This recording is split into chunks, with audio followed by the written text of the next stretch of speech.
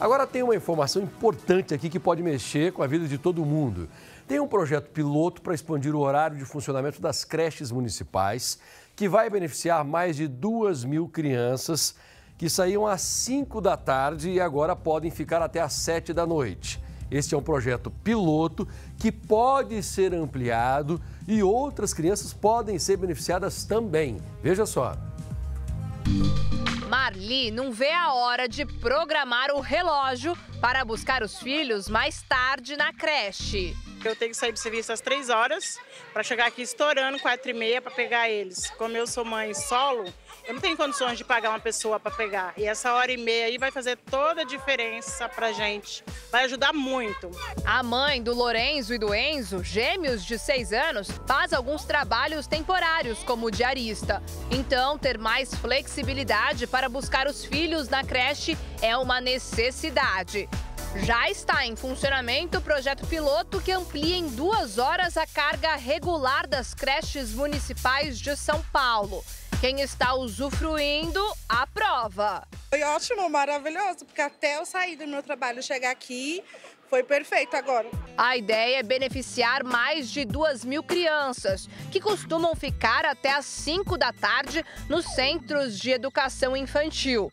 Com a expansão da iniciativa, os pequenos vão poder ficar até às 7 horas da noite. O projeto vem como resposta da demanda. A Secretaria de Educação realizou uma pesquisa com pais de alunos, que apontou que 70% são favoráveis à ampliação da carga horária para 12 horas. A pesquisa também revelou que muitas crianças, depois que saem das creches ficam com cuidadores, por exemplo, familiares, babás ou vizinhos, até que os pais cheguem em casa. Esse é o caso da Lenimar, mamãe do Lorenzo, de 5 anos. Não tem um lugar certo para trabalhar. Como é de diarista, às vezes na Barra Funda, Jabaquara, Pinheiros, não tem um lugar certo. Então, às vezes, não tenho quem pega ele na creche. As vizinhas pegam para mim e me socorre até a hora que eu chego do trabalho.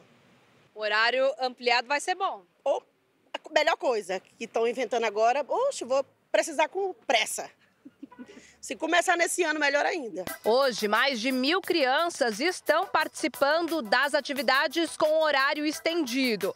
Três unidades que têm fácil acesso ao transporte público foram selecionadas em diferentes pontos da cidade. Essa é uma das creches escolhidas no projeto piloto, aqui no bairro Parada de Taipas, zona norte da capital paulista. Dos 265 alunos matriculados, 90 estão ficando no horário estendido. E agora dá mais tempo, né, da gente chegar, se, se, é, às vezes atrasa no, no trânsito depois do serviço. Então, com esse horário já vem mais tranquilo. A diretora explica que um novo grupo de funcionários foi contratado para trabalhar das 10 da manhã às 7 horas da noite.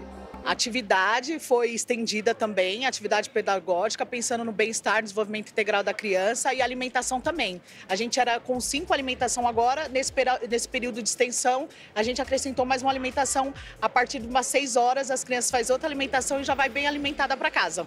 A permanência durante as 12 horas de funcionamento não é obrigatória.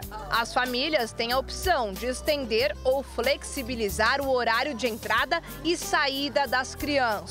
Para essa pedagoga, o projeto não apresenta malefícios, desde que o horário estendido continue suprindo todas as necessidades dos pequenos todo momento da escola da criança ela precisa ser feita com cuidado. Uma hora doze cinco horas né? Numa creche né? Numa educação infantil crianças pequenas né? Precisa ser feito com olhar com atendimento. Então a escola né? A criança ficando todo esse tempo na escola precisa ter esse cuidado para proporcionar o melhor né